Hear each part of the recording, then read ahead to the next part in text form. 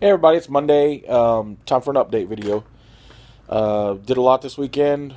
I think I did a couple of videos. Uh, me and my daughter sat down and worked on the Hive Tyrant. Knocked out quite a bit of it. I'm still working on uh, the little bits and pieces of it. She's got school this week, so here and there, depending on if she has homework when she gets home from school, we may work on it a little bit. We'll see. Um, I did finish my one project for last week, the Riptide. Got it completely done um, I still don't have the little uh, support weapons and stuff done, but I think I'm just going to spend a day, maybe this week, and just work on nothing but support weapons. So that way I can get them all done, because they all relatively are going to be the same color scheme, the green, the red, the white. Nothing fancy. Even if, if like, my Riptides are red, mostly red, or like he's mostly blue, I'm still going to keep those the main color of the army, and that's the red, the green, and the white. Um, also, this week, I think I'm going to work, start my uh, commander, my Tau commander. I think I'm going to start working on him. Get him knocking out, knocked out. Uh, I'm going to start a couple of series, maybe this week, probably not. Uh, it depends on where I get. But I'm going to start, oops, I did it again, which I mentioned the other day, which is going to be the video where I attempt things. It's it's just like, hey, let's do this. Let's see if it works. Like I'm gonna try the to paint marbleizing effect and try to get some realistic marble going. Um, another paint scheme be doing the uh, oxidation on like the bronze statues, giving them kind of that teal and white oxidation that happens to them. Um, just things I'm going to practice and just other techniques and tricks that I'm, for me, I'm really nervous about trying but I'm still going to jump on it and do it anyway. And then I'm going to do another video, probably Tuesdays. It'll be Terrain Tuesdays, where I'll just do like little bits of terrain pieces, just little small pieces of terrain or something. Um, even larger projects, once I start getting those going, uh, show those updates on Tuesdays. Um, what else before I get down and show you the models? Uh, Q&A video. Uh, there's been a lot of Q&A videos lately that I've watched, and I really enjoy them because it really helps you get to know a person. Um, it kind of like it just kind of connects you a little bit more to the community. You got all these people from all over the place. I notice like most of the people I watch are from the UK and things like that. And it's kind of nice learning about them, getting to know them a little better. So that being said, I'm gonna do a Q&A video and I'll probably do like one a month. Um, and this video here will be the kickoff video. You can ask questions in the comments and whatnot, and then I'll gather them up. And probably next Monday, when I do an update, it'll be an update and a Q and A, and then I'll, I'll go through all the, the questions and answer them the best that I can. They ask whatever you want, hobby related or not. If it's offensive or something like that, I won't answer it. That's just the way it is. But uh, if it's anything else, just ask away.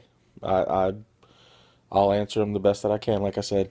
So that being said, I'm gonna go table down. Show you what all I got so going on. Table down. Um, this is my Cold Star Commander, and all his little bits and pieces. So everything's magnetized on them and pinned, so that way I can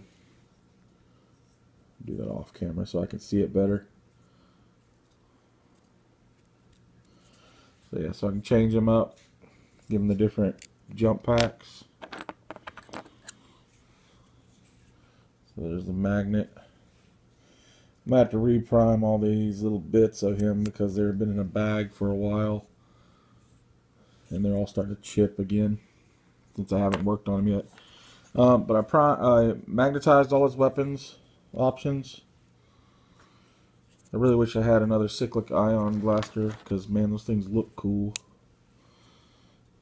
So sorry, I'm trying to focus better. There we go. So yeah, magnetize all his goods. Everything, you know, magnetize the shield. Oh wait, that's not it. I pinned the shield, that's what it was. I do pins on things so that way, if you want I can pin it on him. I did that for pretty much all the support little weapons and stuff. So like this thing here. Um, this.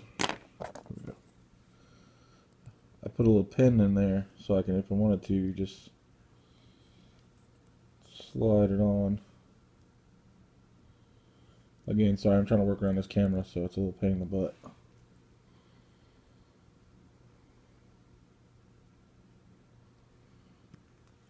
There you go. So it just kind of pins on there. What else did I do? Magnetized all the drone options. I actually dropped one behind the couch, so the marker light drone, I don't have it right now because I have to find the bit. Um, on these Cold Star ones, here's the missile thing. I'm I did the same thing with the pin inside there. Dude, this is so hard working around a camera. Let me tell you. Yeah. What else did I pin on this guy? Oh, I don't know why, but I did it anyway. I pinned his hands. So that way he can have the different hands.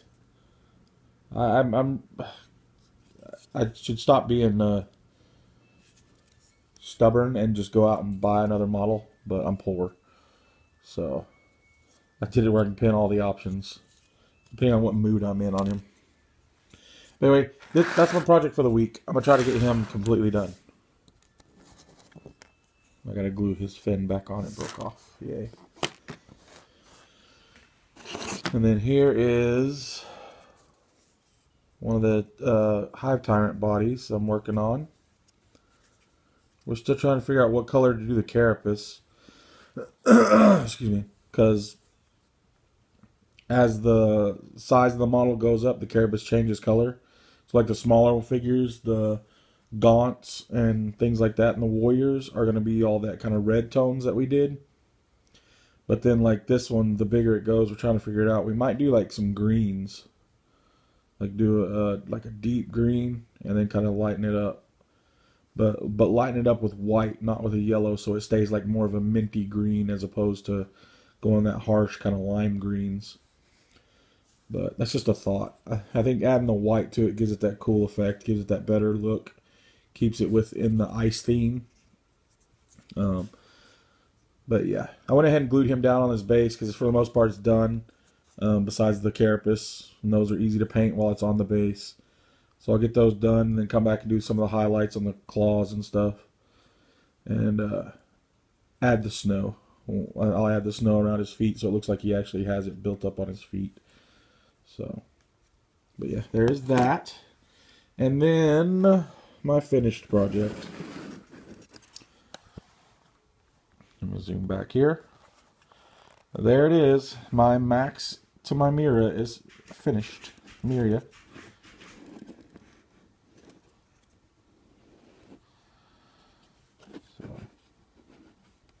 It was very, very fun getting him finished. I don't have his other, his ion cannon out. It's put up in a box right now, so.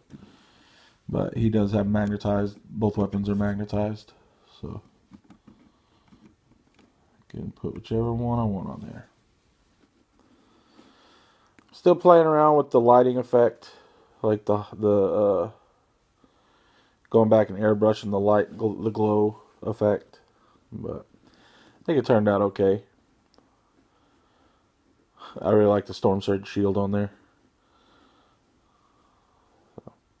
But yeah, that's him. He's done. So, i show the two of them together. The dynamic duo. Now, when I fin uh, get some legs for the other one, I'll have Ben in the back. He'll be uh, the next step. I got him the, the his pose planned out already, so I already know what I'm gonna do with that. So I'm gonna have the three fighter pilots from uh, Robotech Macross. I had to say both of those, or else you'll get some fanboys like super mad at you. But yeah, that's my update video. It's short. Uh, again, like I said, I'll do that Q and A starting next Monday, and probably do it like once a month or whatever. But uh, just leave your questions in the comments, and yeah, hit the like button and enjoy. If you haven't subscribed, feel free. Take care, guys.